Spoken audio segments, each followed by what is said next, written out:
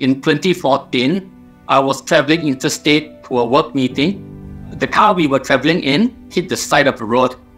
So even though I was wearing a seatbelt, my head hit the side of the car, and as a result, I broke my neck on the spot.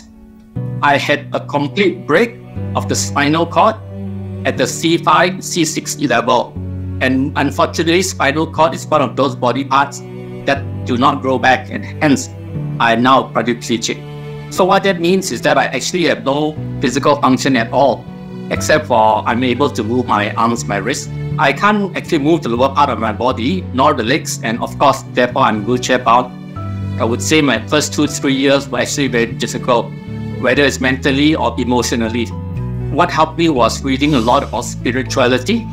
I actually had to sit down and practice exercises like meditation, like visualization, affirmation. I, I really had to spend time to be myself and to be positive, and importantly, to have a different life perspective. So I tend to look forward and I tend to not dwell on the past. We need to embrace change, even though it's a sudden change, just like what I had to go through. I think the key thing here is we must always be open to take on new opportunities and to do things differently from a work perspective, I took on the additional role of being the Southeast Asia FA COO, even though it was a new role at a point in time.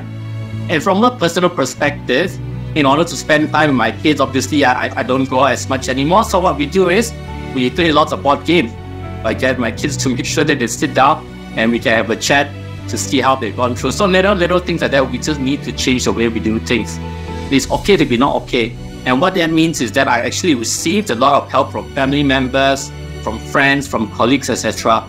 I currently have a full-time helper who is with me all the time, even in the office, whereas my wife takes care of our two kids.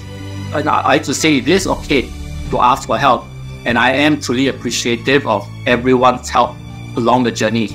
One of the quotes that I live with is actually, it is not the mountain we conquer, but ourselves.